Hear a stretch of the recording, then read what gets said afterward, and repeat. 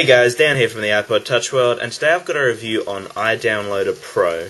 It is $1.99 in the App Store, and it's 9 megabytes to download. Alrighty, so I've got two promo codes to give away to you guys, so you guys can get this application for absolutely nothing. All you have to do is leave me a comment below iDownloader Pro dash your comment. Alrighty, so this application is a universal downloader and download manager. So basically what the application's purpose is, is to be better than the Safari browsing experience. So they give you the ability to use folders and subfolders, uh, move, rename and delete files.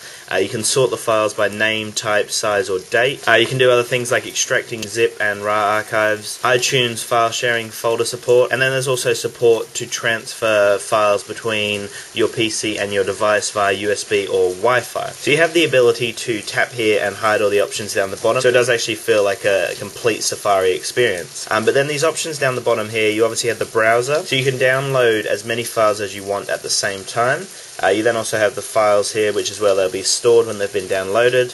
Uh, you've then got settings here where you can add a passcode lock, and then a few other really nice options here to improve your browsing experience. So all you have to do to download is tap and hold, and then it'll bring up this menu here where you've got a few options. We'll just click on download, and then you can rename your file. We'll just click OK. And then it's the exact same principle for pictures. Basically, hold again, and then you have the option to save image or copy image. This application does everything that it says. It basically enhances the Safari browsing experience for you. It's a download manager, and it stores all your downloads on the application. So all you have to do is comment below. iDownloader Pro dash your comment. Thank you guys so much for watching, and have a great day.